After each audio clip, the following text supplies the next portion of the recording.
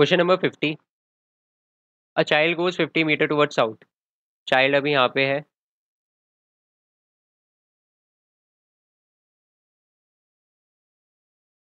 ज़रूरी है। Okay a child goes fifty metre toward south so fifty metre south ले जाओ उसे। And then turns and then turning to his right south में face कर रहा है। उसका राइट right क्या होगा? नॉर्थ में राइट क्या होता है? नॉर्थ में राइट ही होता है तो साउथ में राइट ही होगा। तो राइट की तरफ़ टर्न हो जाता है। ही गोज फिफ्टी मीटर, अब वो फिफ्टी मीटर चला जाता है। Then turning to his left अब वो वेस्ट में फेस कर रहा है, उसका लेफ़्ट क्या होगा? ये होगा। ही गोज थर्टी मीटर तीस मीटर जाते हैं नीचे। ठीक है टोटल से अभी वर्टिकली डिस्टेंस कितना चला है? अभी तक। फिफ्टी प्लस थर्टी, ये वाला वर्टिकल डिस्टेंस में काउंट नहीं होगा, ये वाला होगा हॉरिजॉन्टल डिस्टेंस में।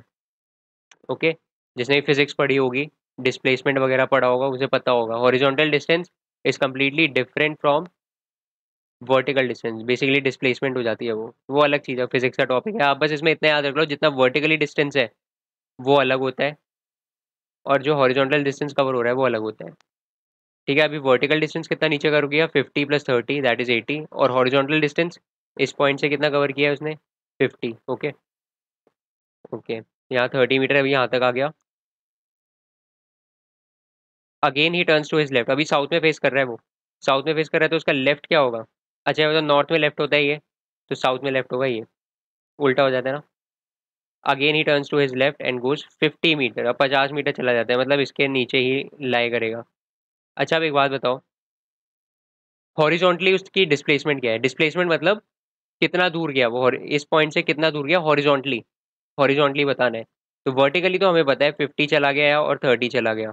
तो एट्टी मीटर गया है दूर, कितना? वर्टिकल डिस्टेंस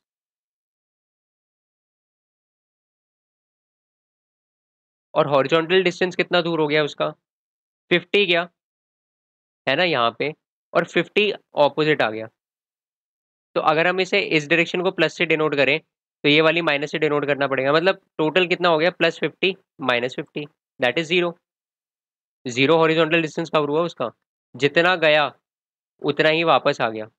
तो हॉरिजॉन्टल डिस्प्लेसमेंट क्या होगा इसकी ज़ीरो तो बेसिकली हॉरिजॉन्टल डिस्प्लेसमेंट ज़ीरो है वर्टिकल डिस्प्लेसमेंट है, जो है, वो क्या है? फिफ्टी प्लस थर्टी क्योंकि सो वो दोनों सेम डायरेक्शन में है। ऐसा होता फिफ्टी इतना चला जाता और थर्टी ऊपर आ जाता। तो तब उसकी क्या हो जाती? Plus fifty minus thirty that is twenty तब ट्वेंटी होती, है ना डिस्प्लेसमेंट अभी क्या है फिफ्टी प्लस थर्टी वर्टिकल तो उसकी एटी है और हॉरिजॉन्टल ज़ीरो है। तो अभी वो अपने घर से कितना दूर है? क्या पूछा ये पूछा है how far is he from is initial position initial position से कितना दूर आ गया?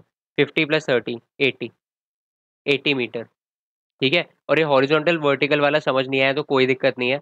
आपको बस क्या करना होता है, वहाँ से स्ट्रेट लाइन ज्वाइन करनी होती है। इनिशियल से फाइनल पोजीशन तक की स्ट्रेट लाइन ज्वाइन करनी होती है और उसका डिस्टेंस देखना होता है कितना आ रहा है। तो इसमें एट्टी आ रहा है 80 is the right answer. That is option option option option d. So we have solved all the